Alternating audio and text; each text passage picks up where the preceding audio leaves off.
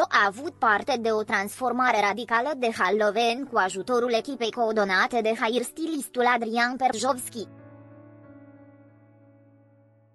elemente de craniu floral, paiete aplicate pe pleoape și în jurul ochilor în diferite culori și irizații, accesorii naturale de păr, vave supun trepunti, aurii, ruj roșu, toate au contribuit la locul spectaculos de Halloween al lui Jo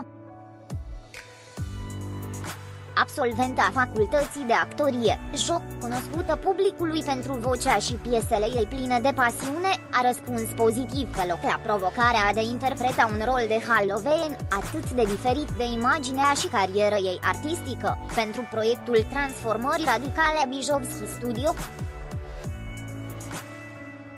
a fost super provocator proiectul, mi-a plăcut, ne-am distrat mult, iar rezultatul m-a uimit de-a dreptul.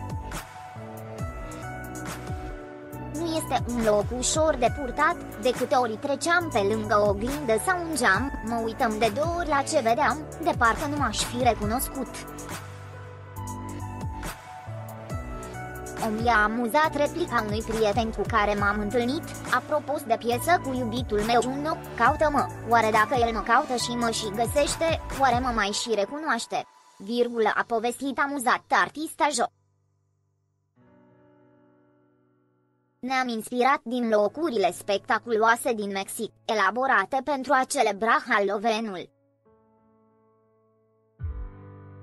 Ne-am dorit să fie ceva spectaculos, însă cu un rezultat frumos, eu nu pledez pentru locul șocant cu orice preț, cred că trebuie păstrată feminitatea și pus accentul pe detalii de make pe accesorii de păr și haine.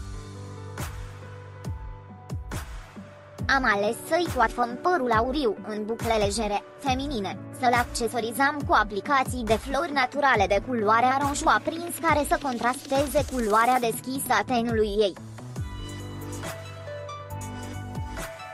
Machientul frapant în zona ochilor și cu ruj roșu senzual, realizat cu migală și atenție la detalii de machiemp artistul Mădălina Petcu și hainele negre, dar sexy, alese pe tema de stilista Lucy Faura au făcut că locul lui jos să fie iconic pentru un particul de Halloween a declarat hairstylistul Adrian Perjovski, coordonatorul proiectului Transformări Radicale Bijovski Studio care are deja peste 5 ani de istorie, cu zeci de celebrități din România transformate.